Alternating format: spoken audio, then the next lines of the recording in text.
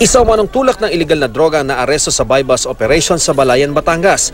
Damay rin ang dalawang bumibili sa target na si John Ursua. Apat na pakete ng hinihinalang shabu at 500 pisong marked money ang nakuha mula sa kanila.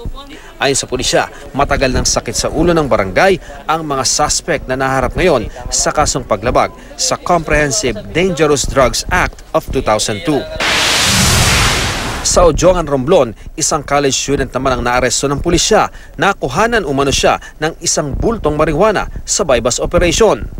Aminado naman ang suspect sa krimen pero nagawa niya lang daw ang pagtutulak para may pandagdag siya sa kanyang allowance. Minsan lang po nagbibigay Ah, mga gulang ko.